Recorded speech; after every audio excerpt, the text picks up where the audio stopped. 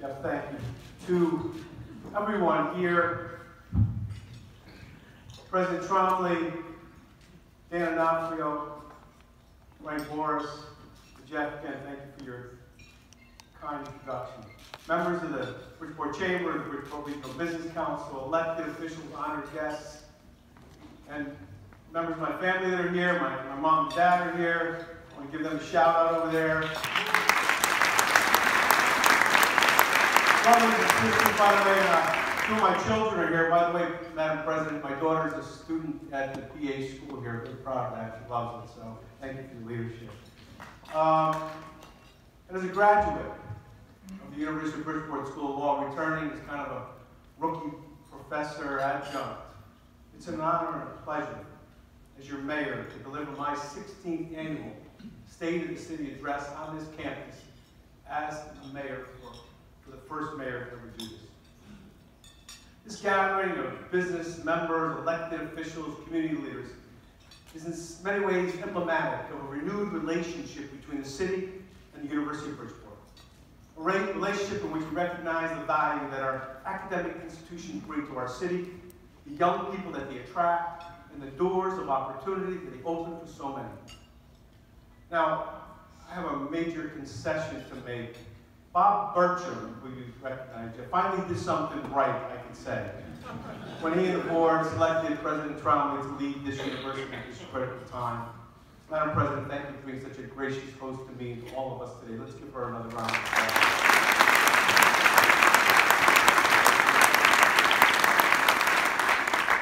And friends, members of the business community, Bridgeport is a city that's growing and on the move, while retaining a legacy of industry and manufacturing which characterizes our city's past. Today, Bridgeport's evolving into a modern city, a city that's a center for culture, dining, and entertainment, a smart city that values green space and sustainability with assets such as the Eco-Technology Park, the largest fuel cell in the Western Hemisphere, solar panels, a microgrid, and a proposed thermal loop in the downtown. It's a city that boasts a vibrant professional and growing downtown population, and ultimately, a city that's a destination for families that live and work in the region. Adding to the, the arena at Harbor Yard, the Barnum Museum, the Klein Memorial, the Bijou, as well as the Beardsley Zoo. Oops, make it in there. Today, I'd like to take this opportunity to give a more depth and more depth to the idea that Bridgeport's a city that's growing and on the move. Mm-hmm. And provide real and tangible evidence of progress, including well over, as was mentioned, a billion dollars of new economic development projects that are happening all across our city. Let's start with a look at the downtown. Over these past two decades, we've seen a steady increase of housing stock, with a trend that's expected to continue. In addition to the success of the security building, with 70 new apartments, McLeod Square, an $18 million renovation that includes 32 apartments, and the Harlan House, and the Stress Factory Comedy Club. There are several other projects underway that are also transforming the downtown area of our city. In downtown North, great progress is being made at the Jayson Newfield buildings. This summer, 50 units of mixed-grade housing will be available, quickly followed by 50 more units by the end of the year. This $25 million project will also feature retail, including a new hub. At Congress Plaza, the City Council just approved a private investment of $18 million, 92 market rate units with retail in downtown North. Also proposed in this area is a $15 million private investment in ice rinks. This new development can provide opportunities for professional skaters and young people alike to enjoy time on the ice in downtown Bridgeport.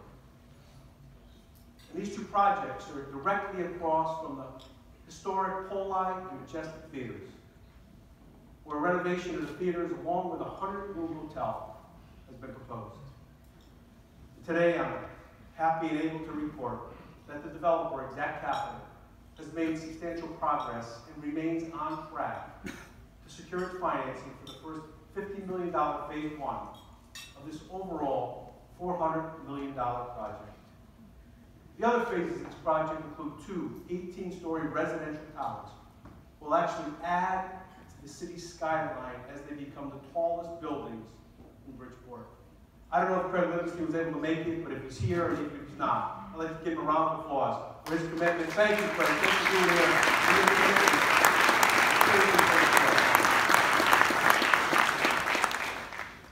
So throughout downtown North, we're talking about the restoration of historic buildings, hundreds of millions of dollars in private investment as well as housing and retail and green space.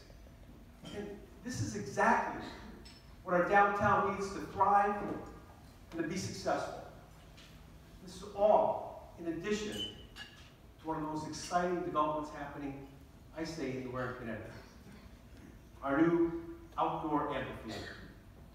Through a public and private partnership investing over $20 million, the ball field at Harbor Yard is being transformed into a venue that will host concerts by Live Nation and many other events throughout the year. Starting this summer, the dramatic tinsel roof takes shape above the, takes shape above the structure.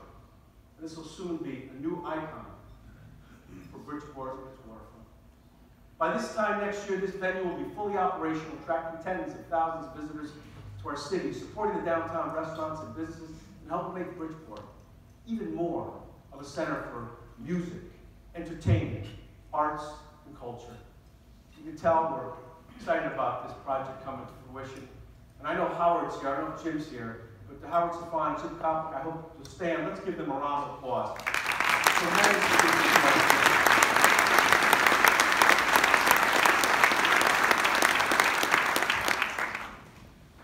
Now, along with all this development going on in downtown, there's also a significant number of projects happening all over the city. Promise to create a better future for our neighborhoods. One of these is the Congress Street Bridge. As many know, that bridge was closed over two decades ago, and in effect disconnected the east side from the downtown, and making it hard for residents and first responders alike to get from one side of the city to the other. But as a result, of the partnership of federal, state, and local government, the $25 million needed for this project is finally in place. And I hope to be walking across that bridge next year, or better yet, maybe pull another Barnum-esque stunt as we did with the Stratford Avenue Bridge back in 1998, and ride an elephant across. well, maybe not, maybe not. If you've drove by Steel Point recently, you'll have seen the 50,000 square foot Dock Masters building adorning our waterfront. This will become home to the new Mediterranean oyster bar and restaurant opening in a couple months, among other things. Also opening are half of the 250 boat slips at the marina, making this the closest deep water marina of its kind to New York City, accommodating yachts as large as several hundred feet long. Soon, people from all over will be docking their boats in Bridgeport Harbor, enjoying a nice meal at the oyster bar, traversing the boardwalk along the waterfront. And I've got to say, this is the kind of new look and feel that we want to bring to our city. They've been here a long time. I do the father better than the son, but let's give the Christophs a round of applause. It's a young pop right here.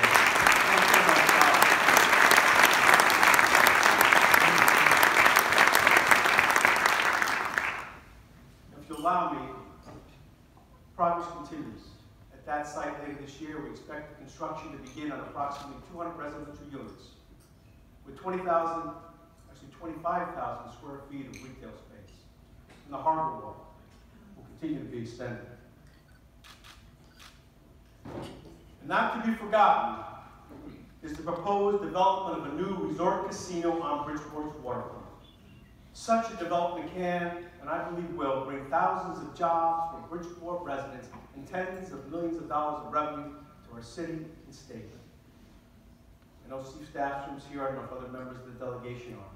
But now is the time, in this legislation, this legislative session, to make our voices heard and push to make this development a reality. Let's give Steve and the rest of the delegation a round of applause for their hard work on this issue and this is an important part of the city.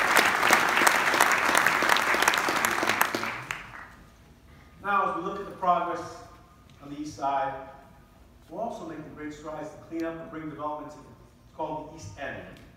And one of the most long-awaited projects of all is finally taking shape in our city. It's called the Civic Block, and many of you know it's on Stratford Avenue. And this July, we expect that we'll cut a ribbon on a $7 million renovation and expansion of the Newfield Library on that site. We'll also soon be breaking ground on another $7 million private investment in retail that includes a much-needed grocery store to serve that area.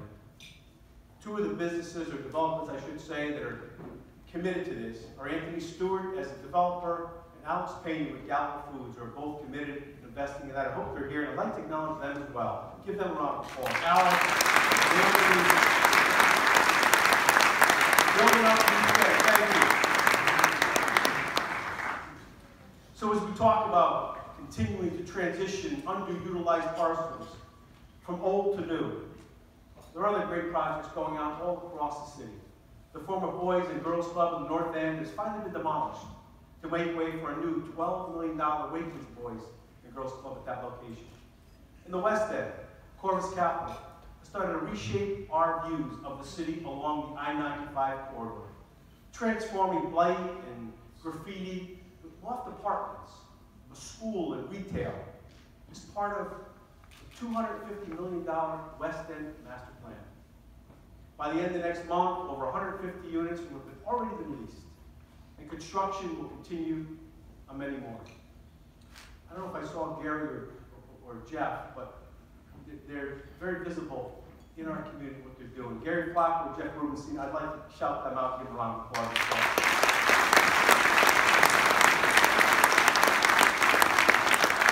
So here in the south end, you may have noticed the majority of the Marina Village housing project is being demolished, making way for a $65 million investment in 60 new apartments, as well as a community health care center. Park City Town McClutchy have been partners on this, and I know there's members of the Park City Community Board here, I know Steve Nelson here, and Collis is here, and Alfred McClutchy is here. But it's a day to give appreciation. Shout out. Thank you guys for what you do. Thank you, guys. Welcome to the Fall of Life, everybody. Now, about a week ago, I joined several mayors from around the country mm-hmm. in what's called the Mayor's Institute for City Design. What we do is we work with experts on design ideas, and for Bridgeport, we did that with a new gateway to the south end.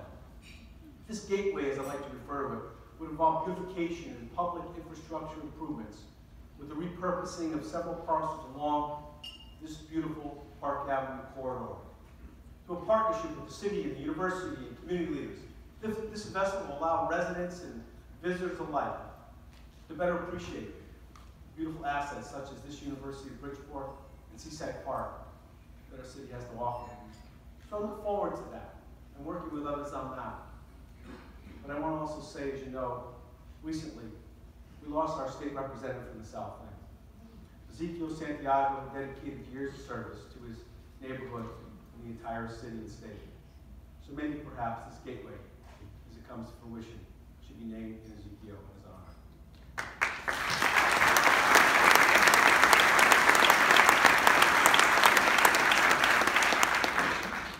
So as we're in the South End, of course I'd be remiss if I didn't highlight PSEG and their $550 million investment, which is now being completed of a 485 megawatt natural gas power plant.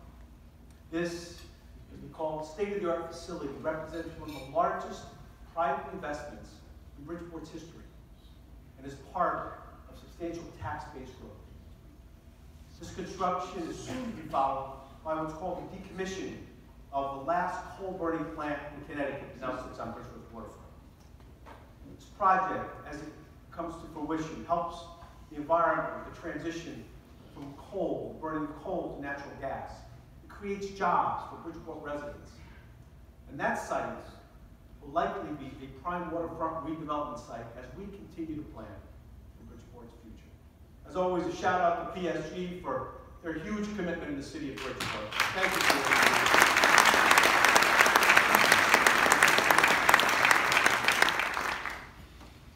So as all these projects are happening in our city, representing real and tangible change from blighted properties and empty lots towards a service-oriented city with modern amenities, dining, entertainment, and housing. I must say that along with these many positive developments, there's challenges. Overcoming these challenges requires unwavering attention steady, experienced leadership. Challenges include budget constraints and high property taxes, the efficient and effective operation of city government, public education, and public safety. These challenges have no simple fix. However, I like to say they're all real stress tests on this administration and our ability to bring positive, fundamental change to the residents of the city and those that have businesses here. When I took office in 2015, we inherited a budget that was out of balance by some $20 million. Additionally, we continue to face structural and reoccurring fiscal problems with unfunded pension liabilities, a tax system that's fundamentally flawed with its over-reliance on property taxes to fund local government and public education. And at each budget cycle, we're faced with these as well as the reliance on state aid to meet increased fixed costs and a grand list where one-third of the property is tax exempt despite the fact that we shoulder the burden of providing a multitude of services for the entire region. Yet each year, all of us work together, local elected officials, state elected officials, businesses and government. And in City Hall, we work diligently to cut spending, to refinance and restructure city debt, to find savings throughout the budget, including wages and healthcare costs. Because of what at times requires bold and decisive efforts, with the help of the City Council, we balance each year's budget with a commitment to holding down property taxes. And by the way, I know there's members of the City Council here. I think they're right back there. Let's give them a round of applause and a shout out. For their.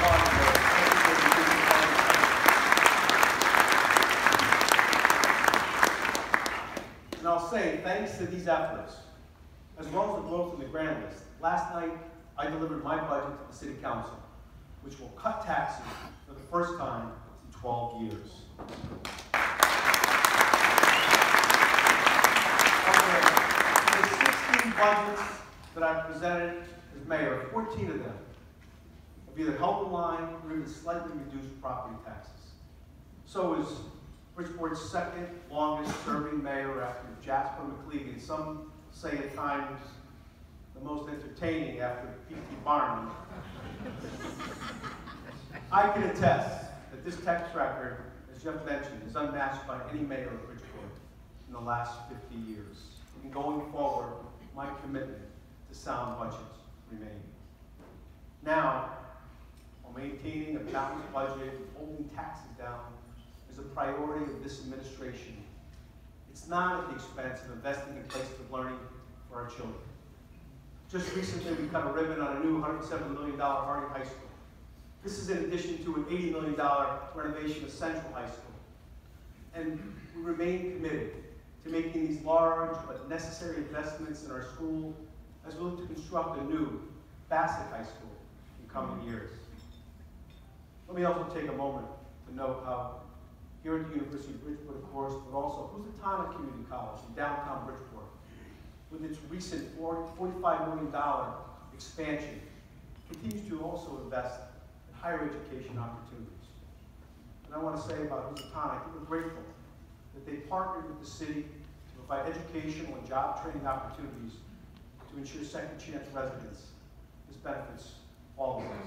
So to them and to all of our centers for higher learning and all that are committed to education, I want to say thank you.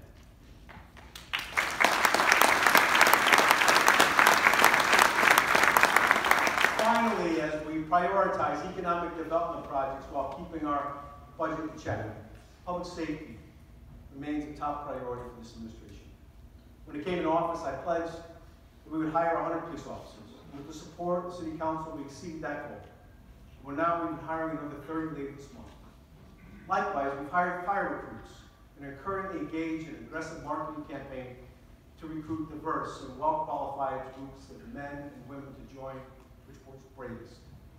And I can assure you that this administration will continue to invest each year in police and fire recruits to ensure that public safety remains our top priority.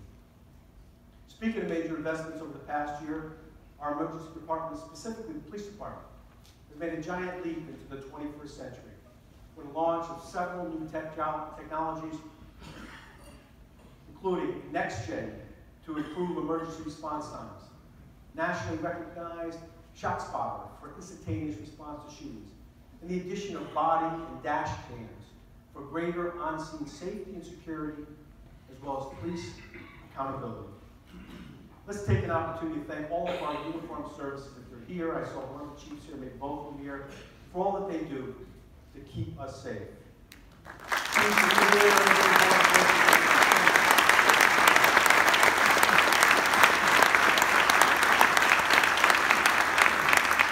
Let me say, because of the efforts of so many, the state of our city is strong, and the fundamental changes that we're making today are paving the way for a brighter tomorrow. Thank you for your continued support and faith in our city. Thank you for the opportunity, the pleasure and honor to continue to serve as your mayor. Thank you, God bless.